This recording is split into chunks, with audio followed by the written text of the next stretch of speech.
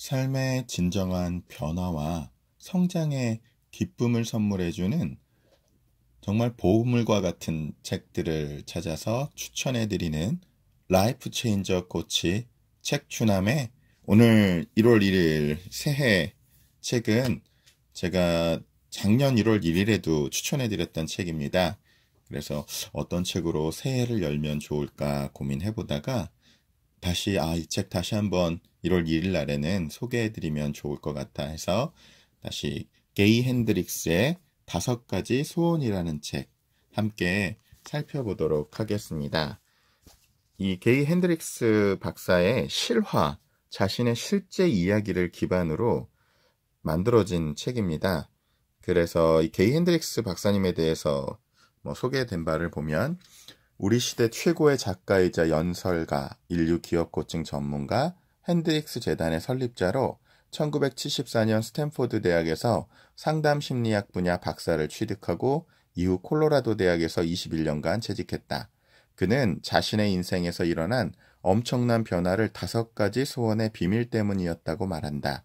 지금까지 그의 책은 전 세계 17개국에 번역 출版되었으며 델 컴퓨터, 휴렛, 휴렛 패커드, 모토롤라 등 800명이 넘는 초일류 기업의 간부들이 그의 코칭을 받았다. 그가 설립한 핸드릭스 재단은 다양한 훈련 프로그램으로 지금까지 수십만 명의 삶을 삶의 질을 크게 끌어올렸으며 최근에는 Spiritual Cinema Circle을 공동 창립하여 세계 70여 개국의 역동적인 영화를 선보이고 있다. 뭐 또 다재다능한 또 1인을 저희가 만나보게 되는데요. 저도 이제 적지 않은 이제는 뭐 저, 젊다라고 하기에는 그 물론 지금 이 100세 시대, 뭐 120시대에 그런 얘기를 하고 있긴 하지만 그래도 적지 않은 시간들을 이제 여러 가지 계획들을 짜 보았는데요. 그 거의 뭐 계획을 짜면 며칠 못 가죠. 그게 이제 소위 얘기하는 작심 3일의 것인 거고 그시 것 같고 또 목표라는 것이 우리가 생각을 해보면 과연 진짜 제가 이 책추남을 통해서 여러분께 꾸준히 꾸준히 말씀드리고 있는 게 우리 안에 있는 미운오리의 의식인 에고 의식이 있고 우리 안에 있는 백조의 의식인 참나의 의식이 있다.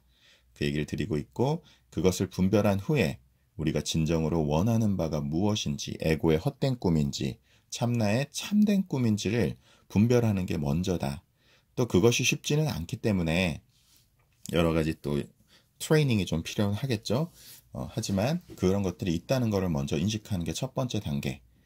그리고 특히 이제 지금과 같은 변화 무쌍한 시대에서는 뭔가 목표를 잡는다는 것이 참 쉽지 않습니다. 그런 경우에 할 수 있는 것은 아, 제가 또 언젠가 또 소개해드릴 절판된 책인 목표 없이 성공하라라는 책이 있습니다. 그 얘기는 아, 어떤 목표를 꼭 갖고 살아가야 하는 것인가라는 이야기입니다. 그거보다는 실제로 이 예측 불가능한 삶이라는 어, 이 삶 앞에서 우리가 할 수 있는 방식은 오히려 우리가 추구하는 가치, 내가 진정으로 소중하게 여기는 가치를 추구하다 살다 보면 열리는 문으로 걸어 들어가는 것, 그 방식이 훨씬 더 어, 좋다라고 좋다라기보다는 서구적인 방법보다는 동양적으로는 그러한 방식들이 더 적절할 수도 있다. 라고 이제 이야기를 하는 것이고요. 그게 스탠퍼드 대학의 이제 진로 상담 분야의 전설로 알려진 어, 존 크럼볼츠 교수가 얘기하는 The Planned Happenstance 우연성의 그 계획된 우연성의 법칙이라는 진로 이론하고 또 이제 특히 21세기에는 맞닿아 있다고 보입니다. 마찬가지로 이 책에서 보면은 어, 그러한 어떤 진정한 우리 내면의 어, 참 참된 꿈을 찾기 위한 좋은 팁을 주는 아, 책이라고 생각을 해서 어, 여러분 소개를 드리려고 하고요. 언제나 이제 책 추남 소개하기 전에 요새 말씀드리는 몇 가지 말씀드릴게요. 첫 번째로는 책 추남을 통해서 추천해드리는 책은 가능한 소장을 부탁드리겠습니다. 그 이유는 진정한 변화를 위해서는 우리의 의식 그리고 문화의 변화가 필수적인데요. 결코 어, 쉬운 일이 아닙니다. 그래서 가장 작은 스텝으로서 정말 우리가 좋은 책들을 많이 접하고 그것을 서로 퍼뜨려 줄 수 있다면 그 내용들 자체가 우리 의식의 작은 변화들을 꾸준하게 이제 어, 일으킬 수 있는 좋은 계기가 되리라고 봅니다. 그렇게 되면 우리 개인의 의식의 작은 변화들, 그것이 모인 우리 집단 의식의 변화들, 그것을 인한 문화의 변화들, 그 문화의 변화들로 인한 많은 파생적인 변화들이 가능하리라고 보는데요. 저는 한국 사회에 대해서도 참 많은 말들이 있지만 그럼에도 불구하고 한국에 여태까지 보시면 전 세계 6.25 전쟁 이후에 가나보다 못 살던 나라, 가나보다 바로 위에 있었죠. 전 세계에서 제2의 빈국이 지금 경제 10대, 11대 경제 강국으로 또 성장을 했고 민주주의에 있어서도 사실 저희가 일제 강점기를 지나 바로 그냥 어, 민주주의로 넘어온다라는 식으로 중간에 어떤 과도기가 없이 충분히 그것이 이렇게 무르익을 시간이 없이 그냥 획획 변한 상황이 됐기 때문에 어, 굉장히 쉽지 않습니다. 그런데 또 불구하고 어, 아시아에서의 민주화율을 보면 일본 다음의 민주화율을 어, 이룩을 한 거를 보면 정말 저희 마음에는 흡독하지는 않지만 뭐 그것들 자체가 더 큰 맥락에서 본다면 참 대단한 성과를 이뤄낸 라인강의 기적보다도 한강의 기적이 더 큰 기적이라고도 긍정적으로 바라볼 수 있는데요.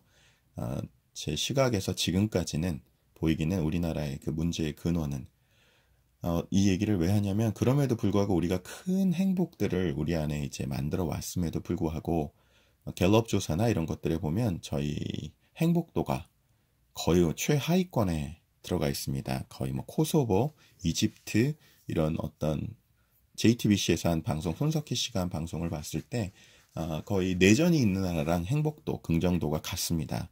그 얘기는 우리 내면의 어떤 많은 전쟁들을 계속 겪기 때문이라고 보는데요. 뭐 학창 시절에는 성적 갖고 입시 전쟁하고 또 들어가서는 대학 가서는 스펙 전쟁하고 그다음 취업 전쟁으로 이렇게 이어지고 그 뒤로 다시 또 뭐 하우징부터 시작해서 교육비 어, 이런 것에 시달리다가 노년에 대한 자금 없이 그냥 그 빈곤층으로 떨어져가는 아주 묘한 구조를 가지고 있게 됐기 때문에 물론 여기에는 수많은 역동들이 작용을 하고 있기 때문에 쉽사리 얘기는 할 수는 없지만 그래도 한마디로 하면 우리는 우리가 누군지 나는 누군지에 대해서 어, 생각해보는 우리 삶의 모든 중심을 이루는 어, 그 뼈대가 있는 중심이 돼주는 자기의 기본 철학을 갖지 못했다는 것. 또 우리 사회가 물질 문명이 정신 문명을 앞서버렸다는 것, 압도하고 있다는 것. 어, 재밌는 조사가 있습니다. 그 전 세계 또 조사를 보면 어, 세상에서 전 세계에서 돈을 가장 중시하는 나라가 어디냐 할 때 우리 상식에는 미국이나 뭐 일본이나 뭐 이렇게 생각을 해볼 수 있는데 어, 그 KBS 다큐멘터리에서 나온 통계를 보면 소개한 통계를 보면 저희가 압도적입니다. 한국이 돈을 제일 중시하는 나라로 나옵니다. 어, 저희 결국 물질 문명 이 정신 문명을 압도해버리고 있는 것이 저는 모든 문제의 가장 근원이라고 생각을 하는데요. 어, 책추남 스쿨로 통해서 여러분께 애벌레적인 그 물질 문명을 물질 문명이 그 애, 실제로 정신 문명에 압도당한 상태를 꽃들에게 희망을 해 애벌레 상태. 그래서 그 기둥 벌레 기둥을 기어 올라가는 삶을 너무 잘 상징해 준다고 보고 있고요. 정신 문명이 물질 문명을 어, 이끌어가는 그런 상태가 나비의 상태. 우리나라에 우리에 있는 백조의 상태라고 말씀을 드리는 거고요. 어, 그런 의미에서 좀 이러한 의식들이 조금씩 저변을 느리지만 작지만 확대해 나갔으면 하는 게 제 마음이기 때문에 또 그런 공감하는 분들과 함께 제가 부탁드리는 건 책추남에서 추천드리는 책들 꼭 소장해 주시기 부탁드리고요. 같은 맥락에서 책추남 여러분 함께 좋아요, 구독하기 또 알람 설정해 주시면 어, 바로 잘 캐치하실 수가 있고요. 어, 카카오톡에도 제가 오픈 채팅방 책추남 검색해 보시면 있으니까 벌써 한 30명 넘게 함께 대화 나누고 계신데요. 어, 옆에서 보기에도 참 건강한 것 같습니다. 대화들이 참 좋고 그래서 함께 거기서 대화 나누셔도 좋고요. 또 네이버 카페에도 책추남 어, 슬래시 그러니까 북튜버라고는 이름으로 주소로 네이버 카페에다가도 개설해 놓았으니까 함께 와서 의견 주셔도 좋고요. 자, 그런 맥락에서 이제 책추남 함께 이렇게 공유하기로 정말 필요한 분들에게 어, 선물해 주시면 같은 맥락 안에서 저희가 조금 더 행복하고 조금 더 나은 세상을 꿈꾸고 살아내 볼 수 있지 않을까. 그것에 대한 시작은 어, 책을 함께 소장해 주는 것에서 또 자본주의 사회이기 때문에 그런 물질적 에너지의 흐름이 또 분명히 강한 힘을 가지고 있기 때문에 그 저희가 작은 참여로 그렇게 해보면 어떨까 생각을 합니다. 자, 그리고 이 책 어, 한번 시작을 해볼게요. 책, 그 구체적인 방법론은 책 맨 뒤 책을 어, 사시, 구매하시면 맨 뒤에 또 잘 정리가 되어 있기 때문에 어, 그 워크북 참조하시고요. 제가 이 책이 또 영화로 만들어졌습니다. 자신의 실제 이야기를 가지고 어, 실제 유명한 배우와 함께 자신의 대역을 하고 자신이 멘토가 되는 역할을 해서 어, 실제로 영화로도 만들어져 있고 어, 영어 버전으로는 이 무료 워크샵 그 시트도 나눠져 있으니까 그건 제가 카페에다가 또 공유해 드리도록 하겠습니다. 어, 필요하신 분들은 오셔서 영화도 보시고 어, 그 워크북도 다운받으셔도 될 것 같습니다.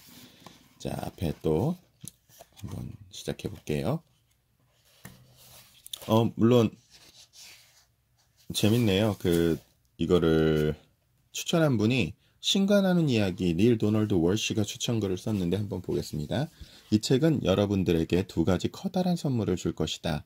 하나는 엄청나게 재밌는 이야기고 또 다른 하나는 당신의 꿈과 목표를 빠르게 구체화해 줄 수 있는 새로운 방법이다. 이 책은 그 이야기만으로도 전율이 느껴질 만큼 재미있고 가슴이 따뜻해지며 또 유쾌하다. 꿈을 이루기 위한 지침서로서 이 책은 아주 강렬하고 새로운 발견이 될 것이다. 이 책이 당신의 인생에 커다란 변화를 가져올 것을 약속한다. 내가 다섯 가지 소원에 대한 이야기를 처음 들은 것은 Spiritual Cinema 축제였다. 축제에는 해마다 수백 명의 사람들이 이런 종류의 용기를 주는 영화를 즐기기 위해 모여들었다. 특히나 그 축제는 나의 책 신과 나눈 이야기를 바탕으로 만들어진 영화가 처음으로 공개되는 것이라 더욱 특별하기도 했다. 당시 나는 유람선 위에서 저녁 식사를 하고 있었는데 그 자리에 바로 게이 핸드릭스가 있었다. 핸드릭스와 나는 서로 하는 일에 대해서는 잘 알고 있었지만 개인적으로는 잘 알지 못하는 사이였다. 그럼에도 불구하고 우리는 서로가 잡담을 즐기지 않는다는 사실을 금세 알아챌 수 있었다. 우리는 즐거운 저녁 식사를 위해 우리 인생에서 가장 중요했던 사건을 이야기해 보기로 했다. 그리고 당신이 곧 읽게 될 이야기가 그가 이야기를 그가 마쳤을 때 나는 그의 팔을 붙잡으며 이렇게 말했다. 핸드릭스, 이걸 책으로 써보는 게 어때요? 다행히도 그는 내 말을 실행에 옮겼고 이제부터 당신은 그 이야기를 즐길 수 있을 것이다. 당신은 이제 아주 강력한 어떤 기법 하나를 알게 될 것이다. 당신이 만약 꿈을 실현하는 방법과 아름다운 이야기를 원한다면 이 책은 바로 당신을 위한 책이다. 그래서 시작이 되죠. 인생을 바꾼 그날의 대화. 아주 오래전 나는 굉장한 선물을 받았다. 대화라는 이름으로 찾아온 그 선물은 내 인생을 송두리째 바꿔 놓았다. 내 안에 감춰져 있던 어떤 힘에 불을 붙여서 내가 마침내 가야 할 길을 알려준 것이다. 그 후 나는 이 힘을 나날이 강력하게 만드는 강력한 기법도 찾아냈다. 그 힘과 기법 덕분에 나의 모든 꿈은 현실로 이루어졌다. 지금 당신에게 그 선물을 주려고 한다. 당신과 바로 그 대화를 나누고 싶다. 내 목표는 당신이 놀라운 치유력을 마음껏 활용할 수 있도록 하는 것이다. 이 힘을 강력하게 만드는 기법과 사용법을 알려주어 당신이 꿈꾸는 모든 것을 현실로 만들 수 있도록 하는 것이다. 이 선물을 받았을 때 나는 내가 이것을 충분히 활용하고 소중히 여기며 다른 이들에게 전하게 될 것임을 직감했다. 이제 당신에게 바로 그 선물을 주려고 하는데 지금 나도 똑같이 부탁을 하겠다. 이 선물을 통해 당신의 꿈과 소원을 하루빨리 실현하라. 그리고 이 선물을 다른 사람들에게 전해주라. 그들 또한 이 힘을 이용해 자신만의 소중한 꿈을 이룰 수 있도록. 하지만 먼저 당신에게 들려줄 이야기가 있다. 다른 모든 이야기들이 그렇듯 이 이야기도 폭풍우가 휘몰아치는 어두운 밤에 시작되었다. 자, 요거는 제가 책 이야기를 다 읽을 수는 없기 때문에 여러분 어, 책을 참조하시고요. 영화를 참조해 주시면 좋을 것 같습니다. 어, 자신이 어, 굉장히 그 헤매고 있을 경우 목표 없이 혼돈스러운 시기에 어떤 파티의 여자친구 때문에 파티에 참석하게 되었고 그 파티에서 우연하게 만든 만난 한 인물 실제로 알고 보니 이분은 또 굉장히 유명한 영성 리더였던 분이었던 걸로 밝혀졌는데요. 그분에게 어, 대화 질문을 이 질문을 받으면서 자기 생애 뚜렷한 목표를 발견할 수가 있게 되었고 그 목표를 가지고 지금까지의 삶을 아주 충만하게 살아왔다라는 이야기로 전개가 됩니다. 자, 한번 그래서 다른 책들을 먼저 좀 그 발췌된 부분들을 좀 낭독해 드리고 맨 뒤에 간단한 기법을 소개해 드리도록 하겠습니다. 어느 날 나는 명상에 잠겼다. 그런데 갑자기 커다란 바위를 빙 돌아 흐르는 강물의 모습이 눈앞에 떠올랐다. 그리고 거기에는 참된 이치가 숨어 있었다. 바로 돈도 결국 에너지의 한 형태에 불과하다는 것 말이다. 그 순간 나는 깨달았다. 마땅히 받아야 하는 것에 대한 집착이 에너지의 흐름을 막는 거대한 장벽, 즉 강의 한가운데 놓인 거대한 바위라는 것을 나는 살고 싶지도 않은 집에 집착하면서 어, 배우자가 파트너가 돈을 마련하기만을 기다리고 있었다. 그것이 나의 에너지의 흐름을 가로막는 것은 물론이고 우리 또 그 파트너와의 관계를 정리하지도 못하는 최악의 결과를 만들고 있었다. 어, 여기서 제가 이거를 체크하는 걸 보니까 돈도 에너지라는 것 그리고 우리의 정신 에너지에서 어떤 에고적인 블락이 그런 것들을 또 가로막는 역할을 하고 있다는 것을 얘기를 이제 했고요. 그때 적어둔 목록을 지금 갖고 있지 않아서 자세히 알 수는 없지만 다른 항목들이 더 있었다. 작성을 마친 목록의 분량은 무려 12페이지에 달았고 보기만 해도 숨이 막힐 지경이었다. 그런데 얼마 지나지 않아 놀라운 사실을 발견했다. 마무리하지 못한 일들을 하나씩 매듭 지을 때마다 내 안 깊은 곳에서 신선한 에너지가 솟구쳐 나오는 것이었다. 마무리 지은 일이 새빨간 거짓말을 실토하는 것처럼 쉽지 않은 일이었을 때 특히 거기서 분출되는 에너지는 가히 폭발적이었다. 마치 다시 태어난 듯한 듯한 느낌이었다. 이렇게 터져 나오는 힘은 정말 강력한 것이었다. 나는 왜 그때까지 이 사실을 모르고 있었을까? 역사 전반에 걸쳐 많은 사람들이 마무리하는 행위의 힘을 활용하였을 텐데 우연으로라, 우연으로라도 그런 이야기를 들어본 적이 없었다. 이렇게 중요한 사실은 텔레비전에서 끊임없이 떠들고 노벨상을 수여하는 것은 물론 교과서에 실어 전 학년의 학생들에게 가르쳐야 마땅하다. 이런 놀라운 사실을 나는 30대가 된 후에야 비로소 경지에 이른 스승을 우연히 만나 알게 된 것이다. 목록에 적힌 일들을 마무리 짓기로 결심한 나는 먼저 그 중에서 가장 내키지 않는 일부터 시작하기로 했다. 그렇다면 나머지는 식은 죽 먹기일 테니까 말이다. 첫 번째로 내가 마무리해야 할 일은 내 삶을 거쳐간 수많은 여성들에게 과거의 거짓말을 털어놓고 지키지 못한 약속에 대한 용서를 비는 것이었다. 그 여자들 중에는 바로 내 딸과 그의 엄마이자 나의 첫 번째 아내인 린다가 포함되어 있었다. 이렇게 하면서 자신이 했던 어떤 것들을 쭉 깨끗하게 정리하는 그런 내용들이 또 나오고요. 그 다음에 어쨌든 어떤 그 상황에서 듣게 된 한 해밀턴 박사의 연설은 마치 나를 위한 연설 같았다. 그의 메시지는 내 영혼을 깨웠다. 진정 원하는 것이 아니면 결코 안주하지 마라. 자유를 버리는 대신 안정을 주겠다는 제안을 섣불리 받아들이지 마라. 안정이라는 망상을 쫓아 자유를 버리고 나면 다시는 자유를 누릴 수 없다. 가슴의 소리에 따르, 따르라. 그러면 당신의 삶에는 예기치 못한 행운이 가득할 것이다. 자, 이 얘기들이 참 많이 듣게 되는데 참 쉽지 않은 것 같습니다. 아, 이 내용을 조금 제가 그 조세 캠벨이라는 신화학자가 한 얘기와 함께 어, 좀 소개를 해드려 보도록 할 텐데요. 조세 캠벨은 이렇게 이야기를 합니다. 위대한 신화학자 조세 캠벨은 영웅이란 자신만의 길을 걸어가는 사람, 자신만의 bliss, bliss는 B-L-I-S-S고 천복, 지복, 경외감, 매혹, 신비, 희열 등의 의미를 찾아 그 길을 따라 걷는 사람. 수많은 사람들이 이 세상의 거대 흐름에 휩쓸려 무엇을 위해 태어났는지조차 가늠하지 않고 급류에 휩쓸려 갈 때 그 흐름에 대항하여 태어난 고유 의미를 찾아 남들이 가지 않은 길을 가는 사람이야말로 진정한 영웅이라고 한다. 그리고 그 얘기에 관해서 조금 더 설명하는 것은 이제 캠벨의 믿음입니다. 인간의 인생이란 곧 영웅의 여정이다. 영웅이란 스스로의 힘으로 자아 극복을 위한 기술을 완성한 인간이다.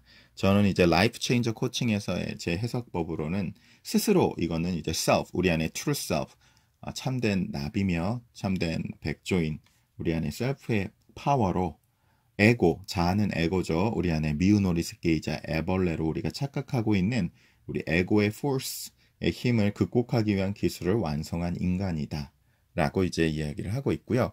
어, 그때 이제 소개드렸던 브라이언 와이스 박사님의 말처럼 혹은 마더 테레사 수녀님의 말씀처럼 우리가 살면서 우리가 위대한 일을 할 기회가 주어지는 경우는 그렇게 많지 않겠죠. 우리는 그래도 감나물려에 어떤 살아가게 되는데 전 청와대 민정수석을 또 하셨던 그리고 그 모래시계 실존 인물이셨던 저희 멘토께서 하신 말씀도 있었습니다. 그때는 이제 김영삼 정부 때 이제 하셨는데요.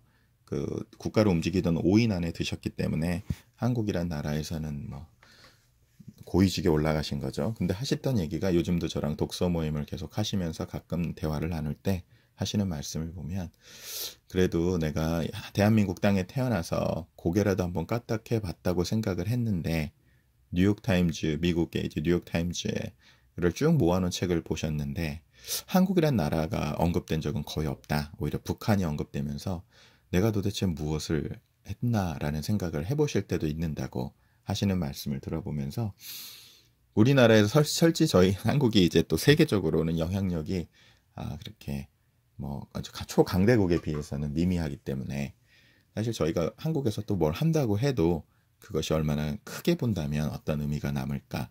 우리가 죽은 후 몇 명이 우리를 기억해 줄까? 50년 후에, 30년 후에, 10년만 지나도 무엇이 우리를 기억하게 할까를 생각해 보면 사실 글쎄요. 음, 저도 그런 것 같고요.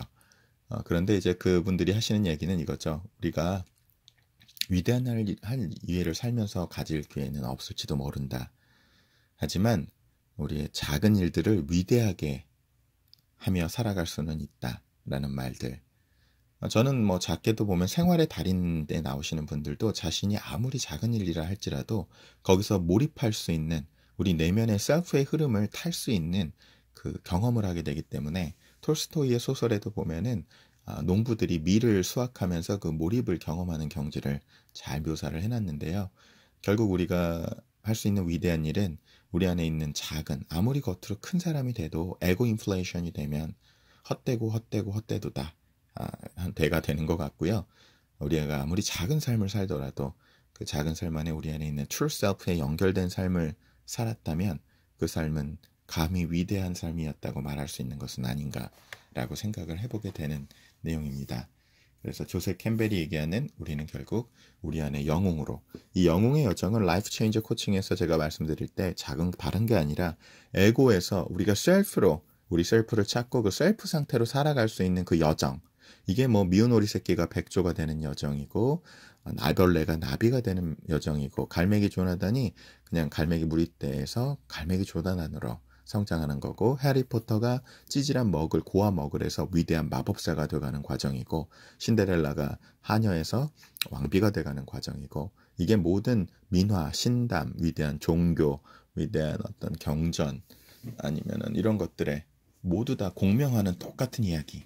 인간은 누구나 우리의 작은 인간 작다 하더라도 자신만의 영웅의 여정을 살아갈 의무를 가지고 있다라고 보는 것이 저는 life 게임의 가장 건강한 현재까지는 가정이라고 보고 있고요.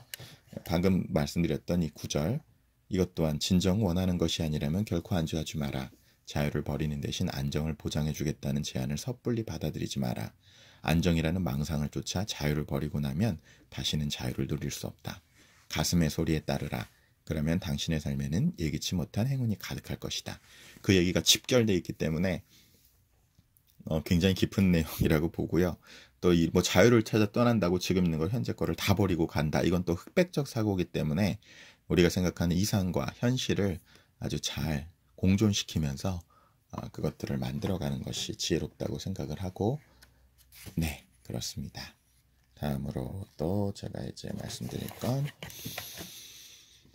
음, 이런 사실을 깨닫고 나자 그 다른 일에도 수많은 궁금증이 생겨났다. 사소한 말다툼이든 큰 싸움이든 별로 유쾌하지 않은 일은 사실 그 자체가 원인이 아닐 수도 있다. 기분이 좋아지고 연인과 가깝게 지내는 것을 차단하는 방편일 뿐인 것이다. 그렇다면 도대체 왜 그럴까? 우리는 왜 기분이 좋아지는 것을 스스로 막는 것일까? 그것은 바로 우리가 스스로에 대하여 좋은 기분이나 사랑을 충분히 누릴 자격이 없다고 생각하기 때문이다.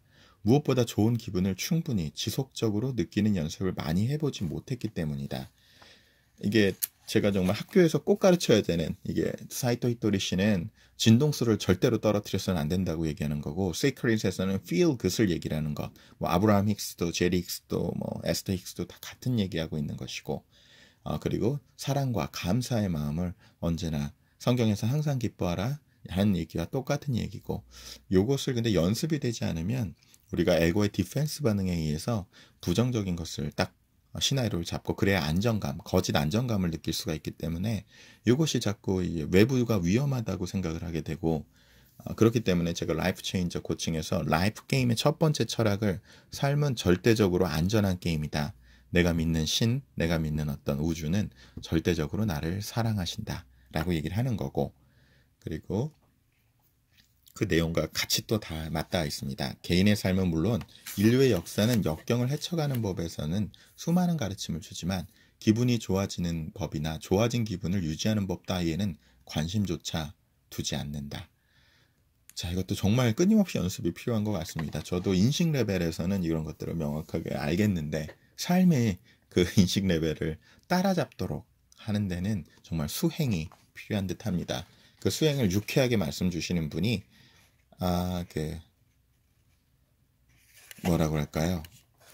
사이토 이토리 씨가 그 얘기를 아주 재밌게 해주시죠 여러 가지 제가 책춘하면서도 어, 이제 꽤 많이 소개해드린 것 같은데요. 자 다음과 같은 책들이 아, 네 핵심 질문이 어, 이 책들의 우리 마음 구석에 아, 다른 책들이 이제 다양한 모습을 담겨 있다고 얘기를 합니다. 이것은 진실인가? 효과가 있는가? 우리는 이것을 이용해 상대방을 더욱 사랑하고 상대방과 더욱 가까워졌는가? 이 얘기는 바이런 케이티의 네 가지 질문과 또 굉장히 유사한 것 같습니다. 진실입니까? 100% 진실입니까? 당신이 그 100% 진실이 아닌 그 거짓을 믿고 있을 때 당신은 어떻게 반응합니까? 아, 네 번째 질문. 그 생각이 없다면 당신은 누구입니까? 혹은 어떻게 반응할 것입니까? 라는 바이런 케이티의 네 가지 에고 게임을 해체하는 아주 좋은 수단이죠. 내게 찾아온 변화. 아까 이제 이 아주 스승을 만났을 그분의 이름이 에드였답니다. 에드와 대화를 나눈 후 마침내 나는 어릴 적부터 간절히 바랐던 충만한 경험을 하기 시작했다. 시간이 흐를수록 그런 경험은 점점 잦아지더니 이제는 내 삶의 일부로 완전히 자리 잡았다. 나는 매일 명상을 하기 시작했는데 지금도 가슴 깊이 신을 느낄 수 있도록 내 마음을 열어준 것이 바로 명상이었다고 생각한다. 처음에는 선명상, Zen Meditation의 수행 방식 중 수식관, breath counting, 이게 이제 호흡을 카운팅한다는 것이네요. 이용해 명상에 임했다. 후에 나는 이 방법으로 평온에 이르는 방법을 깨우치기도 했지만 내게는 좀 건조하고 딱딱하게 느껴졌다. 게다가 명상 선생님의 조언대로 하루에 2시간씩 명상, 명상 하는 것은 빡빡한 나의 일정에는 불가능한 일이었다. 그러다 1973년 초월 명상 Transcendental Meditation이라는 걸 알게 되었다. 비틀즈에도 영향을 준 아주 그때는 파격이었던 것 같습니다. 정기적으로 신의 존재를 느끼기 시작한 것은 바로 이 방법을 통해서였다. 초월 명상의 기도는 선 명상의 수식관보다 내 몸에 훨씬 더 잘 맞았고 하루에 20분씩 두 번만 하면 되는 것도 부담이 없었다. 초월 명상 단체를 통해 초월 명상의 다양한 상위 수행 방식도 계속 배워 나갔다. 수행 방식 하나하나가 훌륭해서 그 단체에서 약속한 좋은 결과를 모두 이룰 수 있었다. 내적으로는 평화와 조화가 생겨나고 외적으로는 능률이 오른 것이다. 이제 명상은 샤워를 하거나 이를 닦는 것처럼 내 일상에서 빠뜨릴 수 없는 요소가 되었다. 아니, 어쩌면 그보다 더 중요하다고 할 수 있다. 1973년 이후 샤워를 걸은 날은 있었지만 명상을 하지 않은 날은 단 하루도 없었으니까. 명상을 통해 내 마음의 문은 점차 열리게 되었다. 나는 바로 이런 변화 때문에 나의 네 번째 소원을 현실로 만든 강력한 경험도 일어날 수 있었던 것이라고 믿는다. 제가 책춘함에서도 말씀드렸는데요. 어, 책춘함 어, life changer coaching은 하나의 toolkit입니다. 한마디로 어떤 연장을 준다기보다는 그 연장들을 잘 어, 체계적으로 잘 정리를 해서 재미있게 활용할 수 있도록 꾸준히 활용할 수 있도록 만든 toolkit인데요. 아, 그 거기서도 이제 제가 핵심으로 강조하는 거는 방법, 방편에 매이지 마라. 무슨 얘기냐면 사람마다 그 방식이 너무나 다를 수 있습니다. 어, life changer coaching의 life 게임 skill set이 네 종류인데 stop 멈추고 그다음에 flow 흘려보내고 세 번째 root 연결 깊게 연결을 뿌리 내리고 네 번째 fly 상승하기 요네 가지 카테고리로 어, 세계에 나와 있는 전수행법을 다 카테고리화 네, 네 카테고리화 할 수가 있도록 해놓은 것도 그것은 내게 가장 편안하고 맞는 방식이면 된다는 것입니다. 그래서 명상도 자신에게 맞는 방식, 어떤 사람은 춤을 통해서, 어떤 사람은 노래를 통해서, 저 같은 사람은 또 이런 책을 통해서 메디테이션을 하는 것이기도 하거든요. 그래서 제가 이제 종합해 본 결과 하루에 15분에서 20분 정도, 어, 한 두 번 정도 아침 일어나서 자기 전에 정도가 가장 효과적이다. 쉽게 할 수 있는 어, 효과적인 선이다라는 거는 감지를 하고 있는데요. 사람마다 다릅니다. 근데 뭐 2시간이다, 1시간이다, 아니 이거는 15분만 해야 된다. 이거는 또 하나의 애고 게임에 휘말리는 거기 때문에 아무리 좋은 것도 어떤 독툴이나 어, 도구마, 도구마화 될 수가 있기 때문에 여러분 그거는 애고 게임은 전 영역에 침투할 수 있다는 것을 알아두는 것도 좋은 팁이 되시리라 생각을 하고요. 자, 또 재밌는 제 본인의 어떤 깊은 체험을 또 얘기를 하게 됩니다. 어, 신은 생각하는 게 아니라 느끼는 거야. 그동안 내가 머릿속에 신을 이해할 수 없었던 게 당연하다. 신은 개념이 아니라 경험이기 때문이다. 신은 생각할 수 없는 존재라는 표현이 가장 적절할 것이다. 그래서 나는 신을 생각하는 대신 느끼는데 나의 모든 의식을 집중하기 시작했다. 이제 신을 느끼는 경험은 내게 30년 전까지만 잡힐 듯 잡히지 않는 순간적인 경험이었지만 이제는 완전히 내 일상으로 자리 잡았다. 이 같은 깨달음은 더욱 심오한 발견을 가능하게 해주었다. 내 몸의 어떤 부위에든 의식을 집중하기만 하면 어김없이 이완을 느껴, 의안이 느껴졌던 것이었다. 예를 들어 어깨에 긴장이 느껴지면 몇 초 동안 그 긴장에 의식을 집중했다. 그러면 이내 긴장이 사라지면서 달콤한 이완이 느껴졌다. 처음에는 긴장이 눈 녹듯이 사라지면서 이완이 생겨나는 것이라고 생각했다. 하지만 의식을 좀 더 집중하다가 실로 믿기지 않는 사실을 발견하게 되었다. 그것은 바로 이완이 늘 그 자리에 있었다는 것이었다. 심지어 긴장이나 통증, 허기가 느껴질 졌죠. 좋다 그렇다. 지금까지 나는 늘 표면적인 감각에만 초점을 맞춰 이완의 존재를 모르고 있었던 것 뿐이었다. 나는 이내 몸 구석구석에 이완을 찾아 나섰고 의식을 집중하는 곳 어디에서나 이완을 발견할 수 있었다.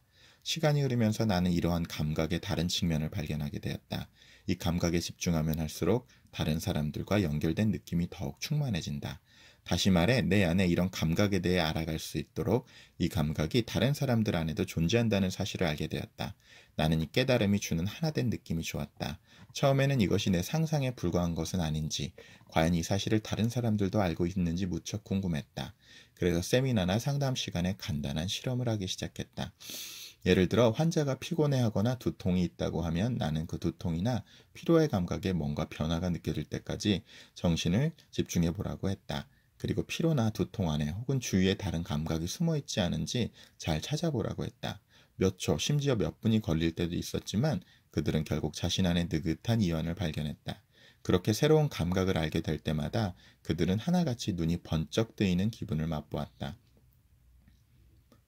처음에 나는 이 감각을 순수한 의식이라고 불렀다. 그런데 내 세미나를 듣는 학생 중 한 명이 이를 본질적 신성이라고 불렀다. 이것이 마치 어렸을 때 교회에서 느꼈던 감정과 비슷하다는 것이었다. 그녀는 신학과 교리 공부에 갇혀 잃어버렸던 느낌을 다시 찾았다는 사실에 흥분하며 더 이상은 교회의 가르침에 얽매이지 않겠다고 했다. 그러자 여기에 동의하는 다른 학생들이 각자의 경험을 쏟아내며 열띤 토론을 벌였다. 그들은 내가 순수한 의식이라고 부른 그 감각이 사실 우리 모두가 타고, 타고난 영혼의 정수라고 결론 지었다. 나는 거기에 동의했지만 그 감각이 본질적인 신성인지 순수한 의식인지 판단하는 것은 당신에게 맡기겠다. 사실 그것을 뭐라고 부를지는 중요하지 않다. 내게 가장 중요한 것은 나 자신과 내 주변의 다른 사람들, 그리고 우주가 연결되어 있다는 느낌, 그리고 그 덕분에 특별해진 일상이다. 자, 이 내용도 여러분 제가 책춘함을 통해 많이 말씀드렸던 심층 종교, 표층 종교의 구별, 그리고 에 대해서 말씀을 드린 거고요. 뭐 요새 그 뭐 기독교계를 좀 살펴보셔도 표층 종교가 무엇인지, 심층 종교가 무엇인지, 또 제가 또 다른 종교들은 많이 알지는 못해서 듣기에는 불교에도 그런 현상들, 이것들이 뭐 끊임없이 나타나고 있다라는 것. 아, 이건 뭐 좀 명백하게 보이는 시대라는 생각은 들고요. 그 역사를 통해서 쭉 한번 보시더라도 언제나 그 종교에는 두 가지 종교가 내려옵니다. 하나는 교종, 이론적이고 이런 것들의 체계를 세워가는 쪽으로 심종 어, 그래서 정말 체험과 신비 체험을 통해서 이것들을 쭉 나와서 교정 쪽으로는 이제 또 깊이 들어가시는 분들은 학생이라고 불리는 학자들이죠. 그리고 이제 심종 쪽에는 수도승들. 근데 이제 대부분 이제 점 셔대 문명이 그동안 지나오면서 어, 교종이 항상 심종을 억압하는 시간들이 나타나고 또 그래서 많이 박해와 그런 속에서 더 깊이 영성들이 개발이 되고 또 어느 순간 또 심종이 교종에 영향을 미치면서 이것들이 다시 융합되고 통합되면서 또 어느 시점이 되면 다시 또 갈라지고 이게 그래서 면면이 흘러가는 어떤 음양의 역사들처럼 퍼져나가는 것 같습니다. 아, 단지 이제 우리가 지금 시대에 이르러서는 어떤 교리나 어떤 그런 것들에 의해서 묶여있는 영혼의 자유를 속박하는 그런 시대는 많이 지난 것 같다. 그리고 그 현상들의 모습에 관해서는 여러분 실제로 경험하시는 어, 그 모습을 보면서 느끼실 수 있을 거라고 생각을 합니다. 자, 그리고 할머니하고 굉장히 친하셨던 것 같은데요. 어, 거기서 이제 또 나온 타트바 마시, 내가 바로 그것이다의 경험을 얘기를 합니다. 내 안에 가장 깊은 곳에서 나는 이미 할머니의 사랑, 그 자체였다는 것을 깨달은 것이었다. 할머니의 사랑은 처음부터 잃어버릴 수 있는 것이 아니었다. 이미 내 세포 하나하나에 또렷이 각인되어 있었기 때문이다. 할머니의 사랑은 그렇게 내 안에서 영원히 살아가고 나 또한 그 안에서 영원히 살아갈 것이다. 할머니의 사랑은 다른 어디에도 갈 수가 없다. 항상 여기에 있을 뿐. 제가 여기서도 말씀드린 게 우리가 사랑을 추구하거나 행복을 추구해서는 결코 거기에 다다를 수가 없다. 그게 뭐 파랑새, 행복의 파랑새 또 여러에서 너무 잘 나와 있고 그냥 내가 바로 그것이다. I am love, I am happiness에서 시작을 해야 어, 이 여행을 여행의 어떤 비효율성을 좀 줄일 수 있지 않을까 생각을 합니다. 자 그리고 실제로 이 다섯 가지 소원을 쓰는 아, 또 여기가 나옵니다. 행복이란 우리 감정과 지금 이 순간 그리고 자신의 삶에 대해 마음을 열어놓는 데서 오는 아주 미묘하면서도 기분 좋은 느낌이다 라고 얘기를 하고 있고요. 이걸 위해서 우리가 틈입의 시공간, 우리의 포스, 우리의 에고 포스에서 둘러싸인 이런 것이 아니, 매트릭스가 아니라 그것이 터져 나올 수 있는 틈입의 시공간, 스며져 나올 수 있는 틈입의 시공간이 중요하고 그것을 위해서 명상과 또 제가 잃어버린 기도에서 소개드린 느낌 기도가 어, 효과적일 수 있다라고 이제 이야기를 할 수가 있고요. 이 목표가 이제 목표를 앞으로 이제 또 하는 법을 계속 얘기를 하는데 이 목표가 목표를 정하고 그걸 구별할 수 있는 게 몇 번 소리내어 읽어보면 당신의 심장과 영혼 안에 울려 퍼지는지를 아닌지를 느껴보는 게 굉장히 중요하다라고 생각을 합니다. 가장 중요한 것, 지난 30년간 사적으로나 공적으로 많은 사람들을 만나오면서 나는 사람들에게는 자신이 생각하는 것보다 훨씬 위대한 목표 달성 능력이 있다는 사실을 깨닫게 되었다. 난 우리가 우리 인생의 중요한 목표를 모두 달성할 수 있다고 믿는다. 마음의 소리를 듣고 목표가 무엇인지 발견만 한다면 말이다. 나에게는 아주 중요한 다섯 가지 소원이 있었다. 당신에게도 몇 가지 소원이 있을 것이다. 물론 그 수는 중요하지 않다. 중요한 것은 당신의 목표가 무엇인지, 그것이 당신에게 얼마나 중요한가이다. 죽음의 문턱에 서 있는 우리에게 가장 중요한 것은 모든 소원을 실현했다는 만족감에 숨을 들이쉬고 그 모든 것이 마무리된 삶의 축복 속에서 숨을 내쉬는 것이다. 한편 지금 이 순간을 살아가는 우리에게는 숨을 들이쉬고 내쉴 때마다 소원을 실현해갈 의지를 다지는 것이 가장 중요하다. 파티에서 우연히 만난 한 낯선 남자가 내게 의문을 제시하고 인생을 바꿀 질문을 해준 것에 대해 난 늘 감사할 것이다. 또한 내가 당신에게 다양한 가능성과 선택권을 제시할 수 있게 된 것도 감사하다. 덕분에 이 책을 쓰고 있는 지금 이 순간에도 내 세 번째 소원이 이루어지고 있다. 이제 우리가 함께한 여행이 끝나가고 있다. 우리가 이 책에서 함께 살펴본 기적의 마음의 문을 활짝 열어줘서 감사하다. 당신의 앞날에 언제나 축복이 함께하기를 내 온 마음을 다해 빈다. 자, 그래서 이 내용들이 맞춰지지만 또 중요한 거 있다고 제가 전해준 거는 있네요.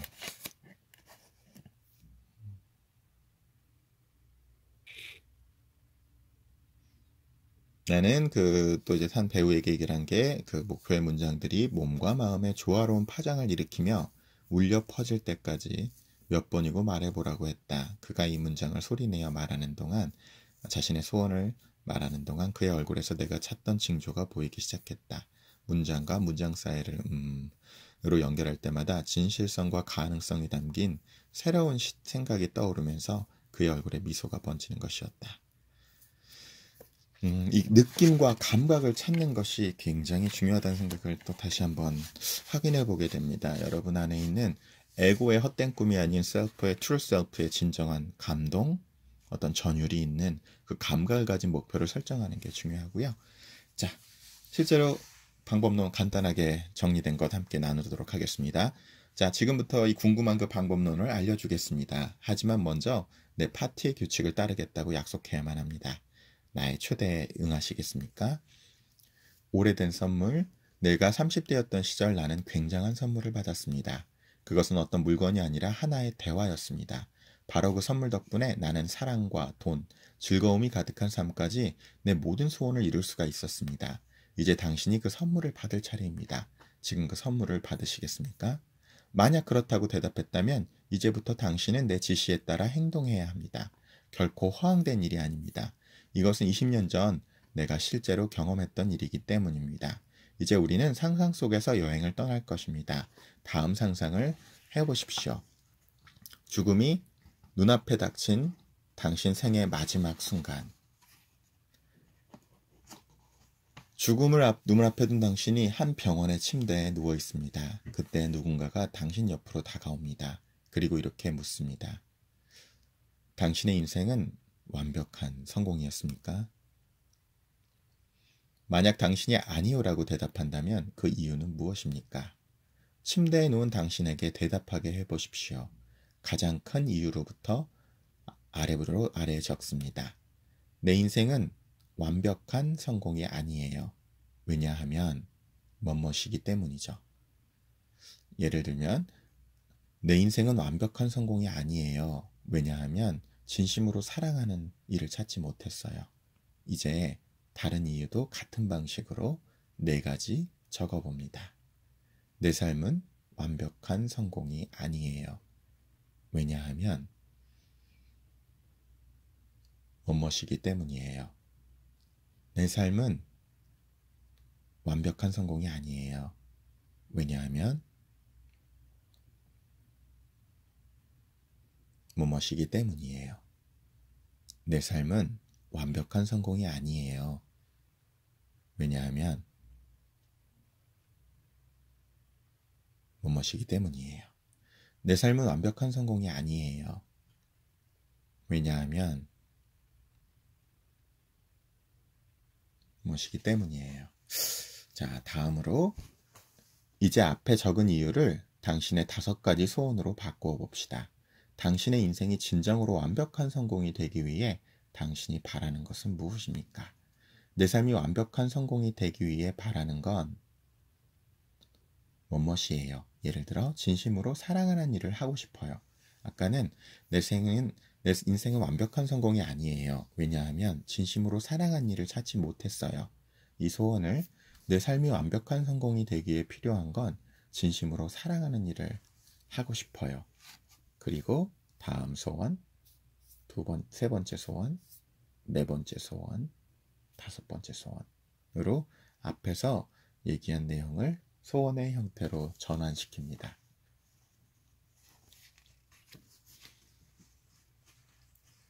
다섯 가지 소원을 이루는 길. 기쁜 소식이 있습니다. 당신은 당신의 소원을 실현하기 위해 굳이 죽음이 눈앞에 닥칠 때까지 기다릴 필요가 없습니다. 당신의 소원을 지금 당장 현재형 문장으로 바꾸어 보세요. 당신의 인생에도 다섯 가지 소원의 기적이 이루어집니다. 나는 입니다. 어, 예를 들어 나는 내 한계를 시험해 볼 수 있는 가슴 뛰는 일을 하고 있어요. 아까 첫 번째 내가 진심으로 사랑하는 일을 찾지 못했어요를 진심으로 사랑하는 일을 하고 싶어요. 이 내용을 다시 나는 내 한계를 시험해 볼 수 있는 가슴 뛰는 일을 하고 있어요. 라고 다섯 가지로 적어보라고 말하는 겁니다. 자, 해보셨으면 기억해야 할 것. 당신의 소원은 언제까지 다른 것으로 바뀌거나 수정될 수 있으며 지금 이 순간에도 살아 움직입니다. 당신은 그저 이 다섯 가지 소원 과정을 이용해서 소원을 이루기 위해 노력하고 그 과정을 즐기며 당신의 소중한 소원을 이루어 나가면 됩니다. 당신의 친구들, 가족들과 함께 이 소원을 공유하고 즐기십시오. 작은 용기만 있다면 지금 당장 당신 눈앞에서 기적이 펼쳐지게 될 것입니다. 우리 중에 가장 용기 있는 사람조차도 자신이 아는 것을 행동에 옮기는 용기는 거의 가지고 있지 못하다. 아리스토텔레스. 다섯 가지 소원을 이룬 인생을 사는 남자 게이 핸드릭스로부터 라고 쭉 마무리가 됩니다. 제가 이 책을 읽으면서 이제 떠오른 것은 음.